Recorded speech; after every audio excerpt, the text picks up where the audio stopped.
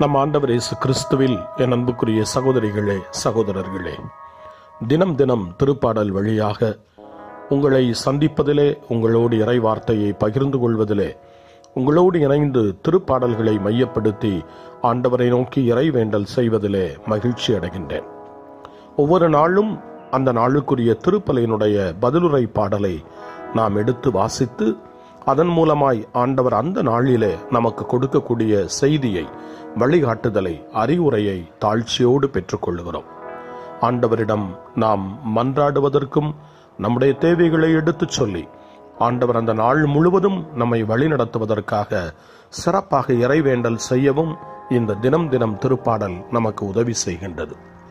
இந்த நாளிலே திருப்பாடலாக நாம் பெற்றிருக்கக்கூடிய திருப்பாடல் நாற்பத்தி எட்டாவது திருப்பாடல். நாற்பத்தி எட்டாவது திருப்பாடல் கடவுளின் திருநகர் என்று திருவிவிலியத்திலே தலைப்பிடப்பட்டிருக்கிறது. நம்ம எல்லாருக்கும் தெரியும் கடவுளின் திருநகர் என்பது எருசலேமை குறிக்கின்றது. கடவுளின் திருநகர் என்று விவிலியத்திலே அது அழைக்கப்படுவதற்கு அதில் அமைந்துள்ள ஆலயம் கோவில் என்பது மிக மிக முக்கியம். எருசலேம் மக்கள் எருசலேமை சுற்றிலும் அவர்கள் நீண்ட பயணங்களை புனித பயணங்களை திருப்பயணங்களை அவர்கள் மேற்கொண்டார்கள். அந்த ஆலயத்தினுடைய மையமும் அந்த ஆலயத்தை சுற்றி இருக்கின்ற பகுதிகளும் ஆண்டவர் வாழும் இடம் ஆண்டவர் குடிகொண்டிருக்கின்ற இடம் ஆண்டவருடைய பிரசன்னம் நிறைந்திருக்கின்ற இடம் என்று அவர்கள் தங்களுடைய வாழ்க்கையில் உறுதியாய் நம்பினார்கள். இஸ்ரேல் மக்கள் தாங்கள் வாழ்ந்த இடங்களிலிருந்தும் நாடுகளிலிருந்தும் எருசலேமை தேடி வந்தார்கள் விழாக்களின் போது. மிக முக்கியமான தங்களுடைய வாழ்வினுடைய விடுதலை நிகழ்வுகளை உடன்படிக்கை நிகழ்வுகளை ஆண்டவர் செய்த இரக்கத்தினுடைய நிகழ்வுகளை நினைவு கூர்ந்து பல்வேறு விழாக்களை பல்வேறு காலகட்டத்திலே கொண்டாடிய பொழுது அவர்கள் எருசலேமை தேடி வந்தார்கள். எருசலேமிலே வந்து ஆண்டவரை சந்திப்பதென்பது அவர்களுடைய நம்பிக்கையினுடைய ஒரு உயிரோட்டமுள்ள ஒரு நிகழ்ச்சியாக கருதப்பட்டது. இப்படிப்பட்ட ஒரு பின்னணியில் தான் இன்றைய இந்த திருப்பாடல் கடவுளின் திருநகரை பற்றிய திருப்பாடலாய் அமைந்திருக்கின்றது. திருப்பாடல் நாற்பத்தி எட்டை பாடுகிற பாடல் ஆசிரியராக கொராகியர் எனப்படுகின்றவர் குறிக்கப்படுகின்றார். தாவீதனுடைய பாடல்கள் திருப்பாடல்களிலே அதிகம். ஆனால் தாவீதை தவிர்த்து மற்றவர்களும் இந்த திருப்பாடல்களை பாடியிருக்கின்றார்கள் என்பதற்கு இந்த திருப்பாடலும் ஒரு ஆதாரமாக நமக்கு கிடைக்க பெற்றிருக்கின்றது கோராகியர் எனப்படக்கூடிய அந்த ஒரு பாடல் ஆசிரியர் இந்த திருப்பாடலை தன்னுடைய மக்களோடு சேர்ந்து பாடல் குழுவோடு சேர்ந்து ஆண்டவருடைய புனித நகரத்தை பற்றியும் அமைதியினுடைய நகரம் ஆண்டவருடைய ஒரு இருப்பிடம் என்று சொல்லப்படக்கூடிய இந்த புனித மலையை பற்றியும் அந்த புனித மலையில அமைந்திருக்கக்கூடிய ஆண்டவருடைய மிக உயர்ந்த அந்த கோவிலை பற்றியும் புகழ்ந்து பாடுவதை இந்த திருப்பாடலிலே நாம் பார்க்கின்றோம். திருப்பாடல் நாற்பத்தி எட்டு இறை வசனம் எட்டு தான் இன்றைய பல்லவியாக நமக்கு தரப்பட்டிருக்கின்றது. கடவுள் தம் நகரை எந்நாளும் நிலைத்திருக்கச் செய்வார். எனவே எருசலேம் என்பது கடவுளின் நகரம் தம் நகரை என்று இங்கே எட்டாவது வசனத்திலே குறிப்பிடப்பட்டிருக்கிறது. அது கடவுளின் நகரம். மனிதர்கள் கட்டி எழுப்பிய நகரமாக அது குறிப்பிடப்படுவதை விட அது கடவுளின் நகரம் என்று சொல்லப்படுகின்றது. கடவுள் தம் நகரை எந்நாளும் நிலைத்திருக்க செய்வார். வரலாற்றிலே எருசலமின் மீது படையெடுத்த அந்நிய சக்திகள் அந்நிய படையெடுப்புகள் மிக அதிகம். ஆனால் அந்த நகரம் எருசலேம் என்பது இஸ்ரேல் மக்களுடைய அரசு மையமாக மட்டுமல்ல அது ஆண்டவருடைய நம்பிக்கையின் மையமாய் கருதப்பட்டது. சமய நம்பிக்கையினுடைய மையமாக எருசலேம் கருதப்பட்டது. அந்த எருசலேமே ஆண்டவருடைய நகரமாய் ஆண்டவர் வாழும் இடமாய் இஸ்ரேல் மக்களால் நம்பப்பட்டது.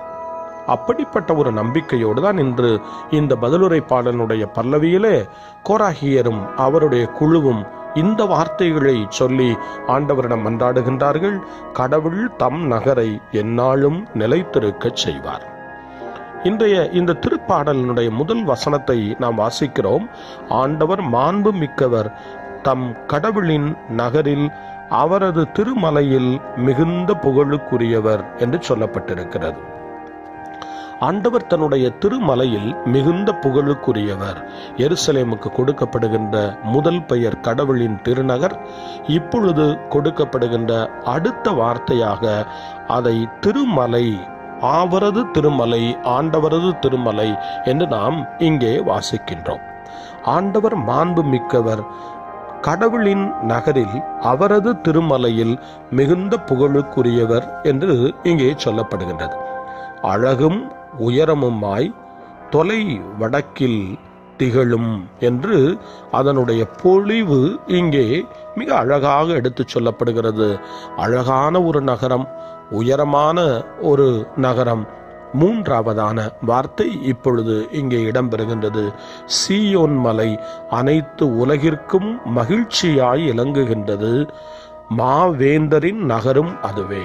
எனவே நான்கு வார்த்தைகளை நாம் இந்த இடத்திலே இந்த வசனங்களிலே இரண்டு வசனங்களிலே நாம் பார்க்கின்றோம். சீயோன் மலை என்று அழைக்கப்படுகின்றது மாவேந்தரின் நகர் என்று அது அழைக்கப்படுகின்றது. எனவே மிகச் சிறப்பான ஒரு இடத்தை எருசலேம் பெற்றிருந்தது.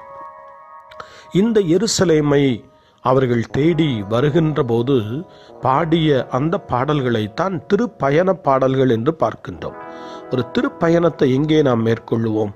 புனித தலங்களை நோக்கி மேற்கொள்ளுவோம். கடவுளுடைய வல்லமை எங்கே நிறைந்திருக்கின்றது என்று நம்புகின்றோமோ அந்த இடங்களை நோக்கித்தான் நாம் திருப்பயணங்களை மேற்கொள்வோம். அப்படியென்றால் இந்த எருசலேம் என்பது இஸ்ரேல் மக்களை பொறுத்தவரை அவர்களுடைய இறை நம்பிக்கையினுடைய மையமாக இருந்தது. கடவுள் தங்களுடைய ஜெபத்தை கேட்கிறார் என்று சொல்லி அந்த இடத்தை வந்து அவர்கள் தேடி வந்து ஆண்டவரிடம் மன்றாடினார்கள். ஆண்டவருக்கு புகழ் பாடல் பாடினார்கள். அந்த சீயோன் மலை மீது ஏறிச் செல்லுகின்ற போதே ஆண்டவரை புகழ்ந்து போற்றி அவரை ஏத்தி துதித்து பாடிக்கொண்டே அந்த மலை மீது ஏறினார்கள் என்று நாம் வாசிக்கின்றோம். இந்த திருப்பாடலினுடைய அடுத்த வரியிலே நாம் பார்ப்பது மூன்றாவது வசனம். அதன் அரண்மனைகளில் கடவுள் வீற்றிருந்து தம்மையே அதன் கோட்டை என காட்டியுள்ளார். எனவே கோட்டை என்பது இங்கே சுவரை குறித்து காட்டவில்லை. கோட்டை என்பது மிக உயர்ந்த மதிலை குறித்து காட்டவில்லை. ஆண்டவரே கோட்டையாயிருக்கின்றார் ஆண்டவர் ஆலயத்திற்கு மட்டுமல்ல அந்த நகருக்கு மட்டுமல்ல தன் மக்களுக்கும் அவர் கோட்டையாய் இருக்கின்றார் இதுதான் அவர்களுடைய நம்பிக்கை. தங்களை காக்கும் கோட்டை எங்கள் கடவுளே என்று சொல்லி அவரை புகழ்ந்தார்கள். எங்களை காக்கும் அரண் எங்கள் தெய்வமே என்று சொல்லி ஆண்டவரை போற்றினார்கள். எதிரிகளிடமிருந்து எங்களை காத்து எங்களுக்கு விடுதலை தரக்கூடியவர் எங்களுடைய இஸ்ரேலின் கடவுளாகிய யாவே கடவுளே என்று சொல்லி அவரை போற்றினார்கள். இப்பொழுது இந்த கடவுளின் திருநகரான இந்த புனித மலையிலே கடவுள் உயிரோடு வீற்றிருக்கின்றார். அவர் எங்களை காண்கிறார் அவர் எங்களை காக்கிறார் என்று சொல்லக்கூடிய அந்த மக்கள் இந்த திருப்பாடலுடைய மூன்றாவது வசனத்தில் சொல்கின்றார்கள் அரண்மனைகளில் கடவுள் வீற்றிருந்து தம்மையே அதன் கோட்டை என காட்டியுள்ளார். எனவே கடவுள் புகலிடம் தரக்கூடிய கடவுள் பாதுகாப்பு தரக்கூடிய கடவுள் என்பதை இஸ்ரேல் மக்களுடைய இந்த புகழ் பாடல் எடுத்துச் சொல்கின்றது ஒன்பதாவது வசனத்திலே நாம் தொடர்ந்து வாசிக்கின்றோம். கடவுளே உமது கோவிலின் நடுவில் உம் பேரன்பை நினைந்து உருகினோம் என்று சொல்லி இன்றைய திருப்பாடல் நமக்கு ஆண்டவருடைய அன்பு அந்த கோவிலில் விளங்குவதை எடுத்துச் சொல்கின்றது ஆண்டவரே உம்முடைய கோவிலின் நடுவில் உம் பேரன்பை நினைந்து உருகினோம். அப்படி என்றால் ஒவ்வொரு கோவிலும் கடவுளுடைய பேரன்பினுடைய அடையாளம். கடவுள் பேரன்பை தன்னுடைய மக்களுக்கு கொடுக்கக்கூடிய இடம்தான் கோவில். எனவே கோவில் என்பது வெற்று ஆடம்பரத்துக்கான இடம் அல்ல. கோடிக்கணக்கிலே கோவில்களை இன்று எங்கு பார்த்தாலும் போட்டி போட்டு கொண்டு கட்டுகிறார்கள் தங்களுடைய சுய கௌரவத்துக்காக. தங்களுடைய ஒரு பெருமைக்காக கட்டக்கூடிய ஆலயங்களை இன்று நாம் பார்க்கின்றோம். ஆலயங்கள் மனித புகழுக்காகவோ மனித தற்பெருமைக்காகவோ மனிதனுடைய அந்தஸ்துக்காகவோ கட்டப்படக்கூடியவை அல்ல. அவை கடவுளின் இரக்கத்தை பறைசாற்றும் இடங்கள். கடவுளின் பேரன்பை எடுத்துச் சொல்லும் இடங்கள்தான் கோவில்கள் என்று சொல்லி திருப்பாடல் நாற்பத்தி எட்டிலே ஒன்பதாவது வசனம் நமக்கு எடுத்துச் சொல்கிறது. உமது கோவிலின் நடுவில் உம் பேரன்பை நினைந்து உருகினோம். ஆலயங்களிலும் நாம் சில நேரங்களிலே தேவையற்ற நிகழ்வுகளிலே ஈடுபடுவதும் கண்டிக்கப்படக்கூடியது. ஆண்டவருடைய அன்புக்கு அடையாளமாக ஆலயம் திகழ வேண்டும். அங்கே பணத்தை மையப்படுத்திய அறிவுரைகளோ அல்லது தூண்டுதல்களோ அங்கே இடம்பெறக்கூடாது. பணம் தருகின்றவர்களுக்கு ஒரு மரியாதை ஏழை எளியவர்களுக்கு மதிப்பற்ற நிலை என்பது ஆலயத்தில் இருக்கக்கூடாது. நம்முடைய வழிபாடுகள் இறை வார்த்தையை மையப்படுத்த வேண்டும். நம்முடைய நோக்கம் ஆலயத்திலே வேறு எதுவாகவும் இருக்கக்கூடாது. ஆதாயத்தை மையப்படுத்துவது ஆலயம் அல்ல ஆண்டவரை மையப்படுத்துவதுதான் ஆலயம் என்பதை இந்த திருப்பாடல் நமக்கு எடுத்துச் சொல்கிறது. இறுதியாக பத்தாவது வசனத்திலே நாம் பார்க்கின்றோம் கடவுளே உமது பெயரைப் போலவே உமது புகழும் பூ உலகின் கடை எல்லை வரை எட்டுகின்றது. உமது வழக்கை நீதியை நிலைநாட்டுகின்றது. எனவே சியோன் மலையில் குடிகொள்ளுகின்ற அந்த கடவுள் நீதியினுடைய கடவுளாய் அவருடைய வழக்கரம் வலிமையினுடைய ஒரு வெளிப்பாடாய் இங்கே நமக்கு தரப்படுகின்றது. சியோன் என்று சொன்னவுடனே அது அமைதியை தருகின்ற இடம். ஆனால் யாவே கடவுள் அமைதியினுடைய கடவுள் மட்டுமல்ல அவர் நீதியினுடைய கடவுளாகவும் இந்த திருப்பாடலிலே நமக்கு காட்டப்படுகின்றார். அந்த ஆலயத்திலிருந்து தன் மக்களுக்கு நீதி வழங்கக்கூடிய கடவுளாகவும் அவர் நம்பப்படுகின்றார்.